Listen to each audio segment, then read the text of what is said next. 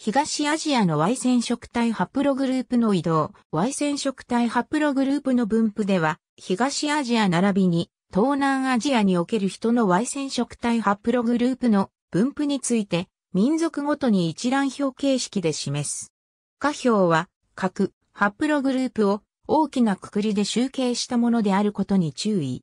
例えば、ハプログループ D は、ハプログループ D1A1、D1A2 に分類され、さらに細かな分類も存在する。ハプログループ D1A2 は、約3.5万年前に日本列島にて発生した型である。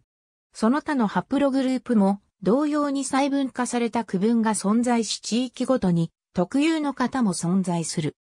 下表の K は基本的には固系統を除いたものであるが、サンプルによっては固系統の一部を含んでいる場合もあり、注意が必要である。下表においても大きなくくりでまとめられたものであることに注意を要する。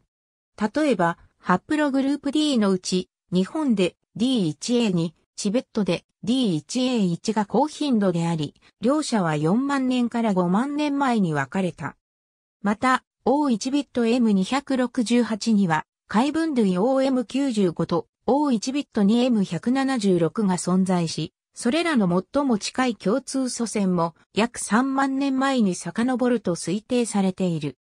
ハプログループ C にも日本固有の C1A1M、8とユーラシアに広く分布する C2M217 が含まれるが、両者の最も近い共通祖先は約5万年前と推定されている。